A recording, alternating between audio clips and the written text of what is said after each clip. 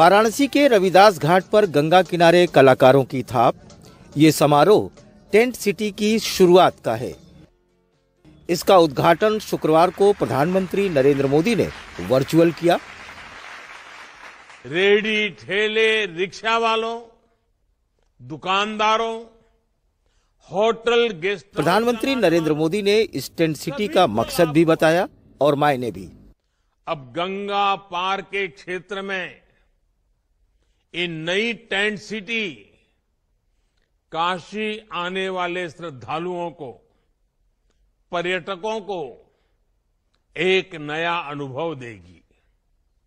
इस tent city में आधुनिकता भी है, अध्यात्म भी, और आस्था भी है। राग से लेकर स्वाद तक, बनारस का हर रस हर रंग इस टेंट सिटी में देखने को मिलेगा। द्वारे बधैया बाजे गंगा द्वारे संत रविदास के उसी घाट पर महिलाओं का यह गीत टेंट सिटी के साथ सबसे लंबे जलमार्ग पर टूरिस्टों को लेकर निकलने वाले गंगा विलास क्रूज के लिए। है ये ऐतिहासिक दृश्य है माननीय प्रधानमंत्री महोदय। इसे भी प्रधानमंत्री ने हरी झंडी दिखाई। नदी जलमार्गों के विकास से जुड़े। उन्होंने बताया कि किस तरह ये क्रूज पर्यटन को बढ़ावा देगा। मेरी काशी से डिब्रूगढ़ के बीच दुनिया की सबसे लंबी नदी जल यात्रा गंगा विलास क्रूज का शुभारंभ हुआ है। इससे पूर्वी भारत के अनेक पर्यटक स्थल वर्ल्ड टूरिज़्म मैप में और प्रमुखता से आने वाले हैं।